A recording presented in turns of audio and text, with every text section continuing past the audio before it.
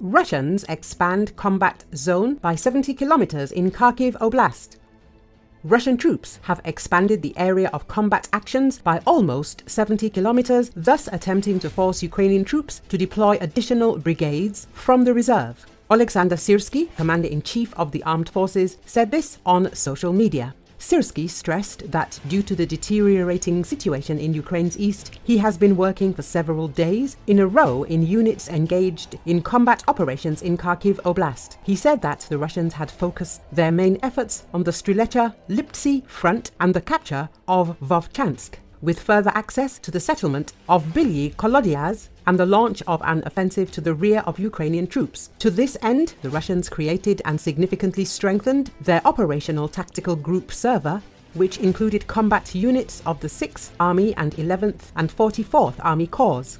Syrsky noted that the Russians had launched an offensive much earlier than planned when they noticed Ukrainian troops being redeployed here but they failed to break through our defenses. Syrsky predicted heavy fighting and said the Russians were preparing for it. Under such circumstances, we must prevent further advancement of the enemy troops by steadily holding the occupied borders and positions, inflict maximum losses on them with strikes by aircraft, missile systems, artillery and tanks, and create conditions for their defeat by the actions of mobile assault groups and units with attacks to the flank and rear from different directions, Syrsky added. Syrsky stated that the Ukrainian army should make the most of its advantage in the attack UAVs, the use of electronic warfare and precise artillery fire. My work has been focused on these issues as well as on regrouping troops and simplifying the system of comprehensive support, he said. In addition, Syrsky worked in all the brigades fighting in Kharkiv Oblast, was in one of the battalions defending Vovchansk, and made all the necessary decisions on the spot to ensure the sustainability and effectiveness of defense. He added that Kharkiv and Kharkiv Oblast residents are actively involved and helping the defense forces in any way they can.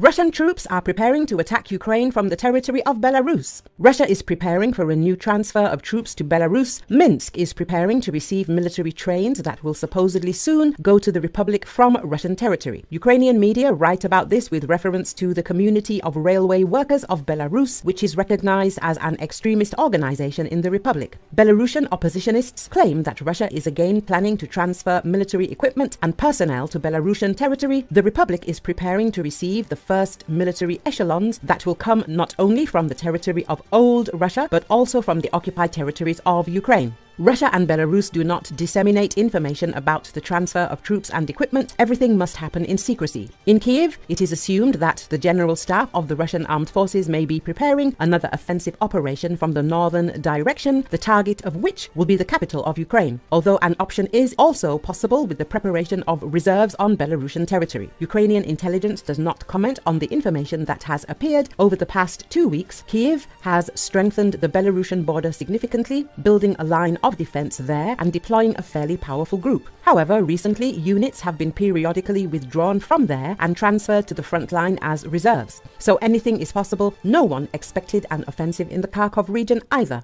Belarus has served as a springboard for Russia's war against Ukraine from the outset. Russian forces invaded Ukraine from Belarus despite prior assurances by top Belarusian officials that this would not happen, and the country has continuously provided logistical supply lines and medical care for Russian soldiers. Russia has also been moving scores of weapons and other military equipment in and out of Belarus. Among the units remaining in Belarus are S 400 air defense and Iskander and top M2 missile systems, as well as fighter jets and other military military aircraft, including the MiG-31K, fitted with Kinzhal missiles that are capable of reaching targets 2,000 kilometers away. Russians attack like crazy in Kharkiv. Kremlin wants to create a buffer zone here. The Russian offensive in the northern Kharkiv region has created one of the most significant problems since the start of the war for Ukrainian troops, which are low on ammunition and exhausted from fighting along a vast front line.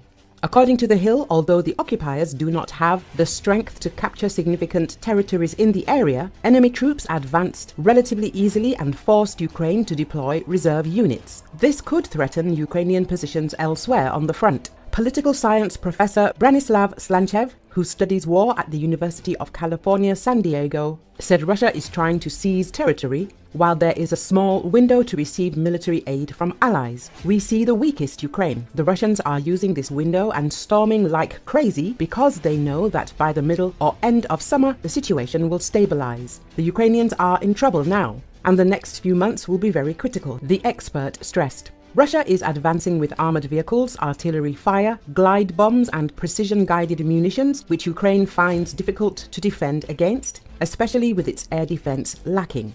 The enemy captured several villages and approached the occupation of Volchansk, from where Ukraine began to evacuate thousands of civilians. According to Russian military bloggers, the invaders have already entered the northern part of Volchansk, where fierce fighting continues. The Russian Ministry of Defense claims that occupation forces occupied towns near Volchansk, in particular Bugrovatka. The Kharkov offensive revealed a certain disappointment with US policy. Ukrainian officials have pushed for stronger air defenses to protect embattled regions such as Kharkiv. They also want Washington to allow the use of American weapons to strike Russia, including the Belgorod region near Kharkov, but the White House has categorically refused. Michael Bohnert, from the RAND Corporation, which specializes in defense technologies, expressed concern about the number of people in the ranks of the armed forces of Ukraine.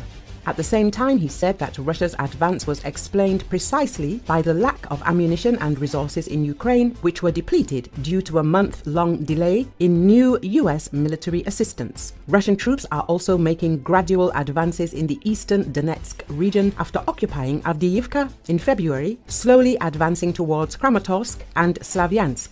In this regard, the enemy's actions in the Kharkiv region may indicate the Kremlin's strategy to create a buffer zone between Russia and Ukraine to protect Russia's border regions from attacks by Ukrainian drones. Although it is difficult to take Kharkiv, the Russian Federation can surround the city and apply enormous pressure.